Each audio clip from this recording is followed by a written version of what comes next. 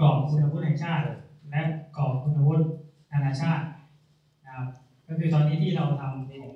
ACYS นั่นเองนะครับเขาเคยขาดไม่ต้องสวยนะความสำคัญของกรอบคุณวุฒิแห่งชาตินะครับก็มี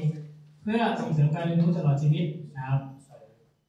อ่าเป็นแม่แบบในการพัฒนาระบบคุณวุฒิของประเทศให้มีความสอดคล้องเชื่อมโยงกันนะครับ ส่วนของคำนิยามนะครับคำนิยามของกรอบคุณวุฒิแห่งชาติเนี่ยนะครับ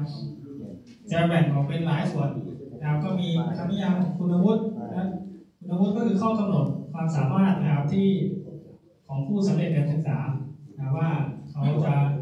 มีความสามารถอะไรหลังจากสำเร็จการศึกษา ระดับนะครับก็คือเป็นตัวบ่งชี้ของความสามารถแต่ละระดับ ความรู้นะครับเข้าตรงนี้ก็คือความรู้ที่เกิดจากการเรียนรู้นะครับ สาระสาระสำคัญนะครับ อันนี้อันนี้เป็นส่วนที่บ่งบอกในแต่ละระดับของคุณวุฒิในกรอบคุณวุฒิแห่งชาตินะครับจะแบ่งเป็นความรู้ทักษะวัตถุประสงค์นะครับ และก็คุณลักษณะที่พึงประสงค์นะครับซึ่งในตัวนี้เนี่ยจะเห็นว่าในมคอแล้วก็มาตรฐานคุณวุฒิอาชีวศึกษา การสร้างวิชารายวิชาแต่ละวิชาของเขาเนี่ยจะมีในส่วนนี้ทุกรายวิชานะครับเกือบทุกรายวิชา อันนี้ก็เป็นปัญหา ของเราในการเราที่เราจะเอาไปเทียวเขียงนะครับ ก็